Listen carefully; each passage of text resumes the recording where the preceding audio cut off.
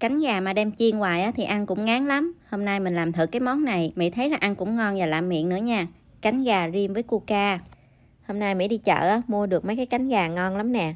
Mà cái này á, là Mỹ chỉ mua cái cái khúc giữa thôi, còn mấy bạn làm nguyên cái cánh gà cũng được nữa nha.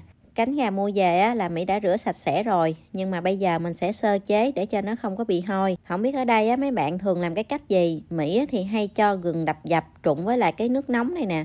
Mình để tầm khoảng 15 đến 20 phút nha. Mỹ thấy khi mấy bạn ngâm gừng với nước nóng như vậy nè là một hồi cái cánh gà của mình á, khi sơ chế nó rất là nhanh mềm và nó ngon nữa.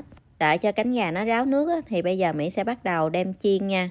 Chiên á, thì hơi nhiều nhiều dầu chút xíu để cho cái cánh gà của mình nó vàng. Khi mấy bạn chiên á, nếu mà bạn nào sợ bị văng dầu á, thì mình có thể bỏ chút xíu bột bắp vô để cho nó bớt văng nha mấy bạn. Mà cái chảo này của Mỹ á, ngay ở chính giữa nó hơi bị dính đó mấy bạn. Cho nên là chiên á, nó cũng không có được đẹp lắm á.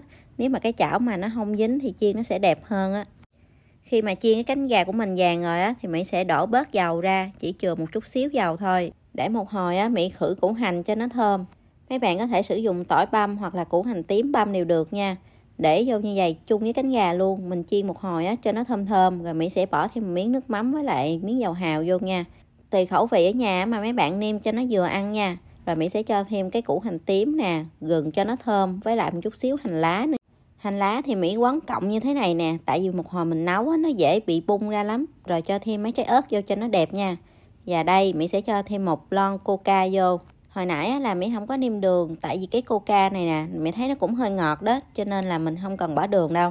Mấy bạn bỏ coca cho nó ngập sắp sắp mặt gà như thế này rồi mình nấu rim rim nha. Bạn nào á, mà muốn ăn nước chấm với bánh mì á, thì mình nấu cho nó hơi kẹo kẹo thôi còn hôm nay Mỹ không có chấm bánh mì mà Mỹ ăn với cơm á cho nên là Mỹ làm cho nó khô để cho nó thấm hết vô cái cánh gà luôn nha.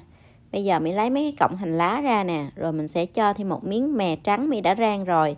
Với lại một chút xíu hành lá Mỹ sắc nhuyễn vô trang trí cho nó đẹp ha. Khi mà mình rim coca vậy nè một hồi nước nó kẹo xuống á, cái cánh gà nó lên màu rất là đẹp luôn.